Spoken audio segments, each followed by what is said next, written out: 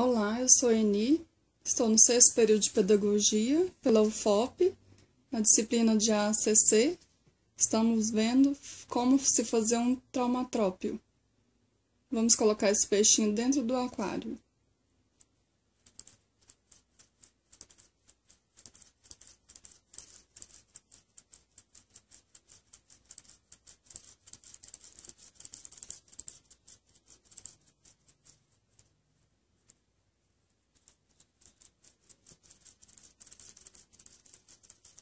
Penso que nossos alunos vão adorar essa atividade.